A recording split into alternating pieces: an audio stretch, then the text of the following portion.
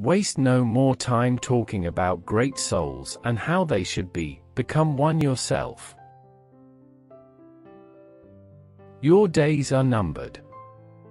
Use them to throw open the windows of your soul to the sun.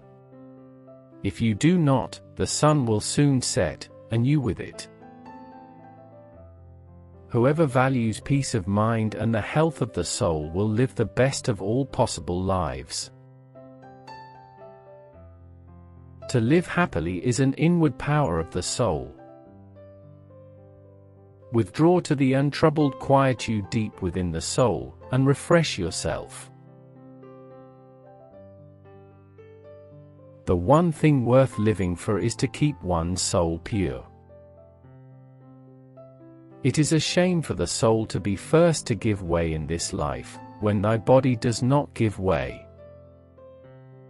If souls continue to exist, how does the air contain them from eternity?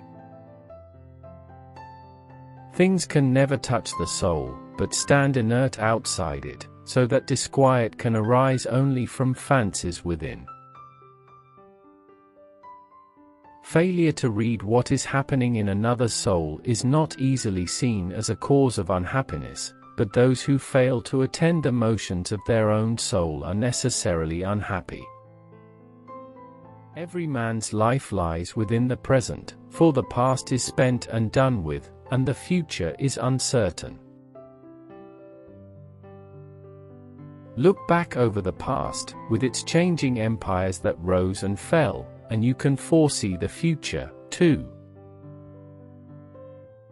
If you separate from everything you have done in the past, everything that disturbs you about the future, and apply yourself to living the life that you are living, that is to say, the present you can live all the time that remains to you until your death in calm, benevolence, and serenity. Past and future have no power over you just the present, and even that can be minimized. Remember that man lives only in the present, in this fleeting instant, all the rest of his life is either past and gone, or not yet revealed. Reflect often upon the rapidity with which all existing things, or things coming into existence, sweep past us and are carried away.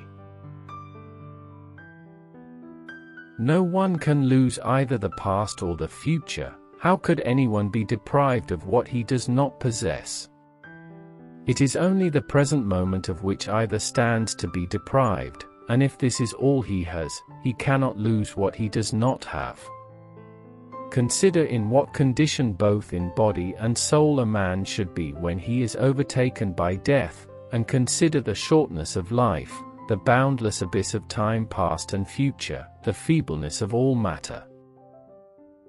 Don't let your imagination to be crushed by life as a whole. Don't try to picture everything bad that could possibly happen. Stick with the situation at hand, then remind yourself that past and present have no power over you. Only the present. Do not disturb yourself by picturing your life as a whole, do not assemble in your mind the many and varied troubles which have come to you in the past and will come again in the future, but ask yourself with regard to every present difficulty, what is there in this that is unbearable and beyond endurance? Waste no more time arguing what a good man should be. Be one.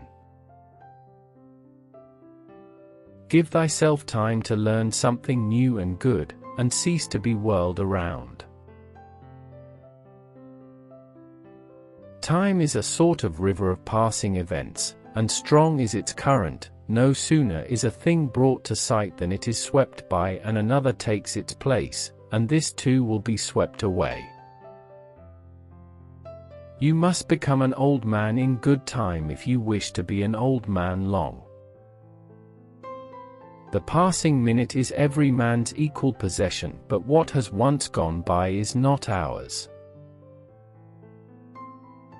Be not as one that hath ten thousand years to live, death is nigh at hand, while thou livest, while thou hast time, be good.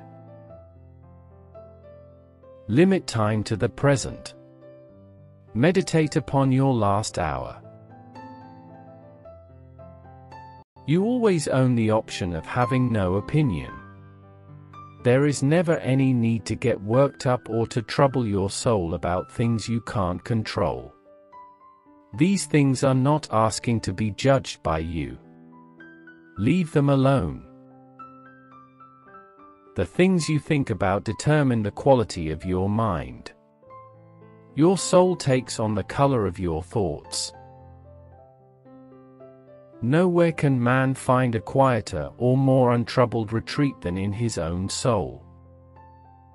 When another blames you or hates you, or people voice similar criticisms, go to their souls, penetrate inside and see what sort of people they are. You will realize that there is no need to be racked with anxiety that they should hold any particular opinion about you. Thanks for watching. Please don't forget to like, comment, share and subscribe to this channel, because you doing so help us to bring you more thought-provoking and inspiring quotes about life. Be safe and stay blessed.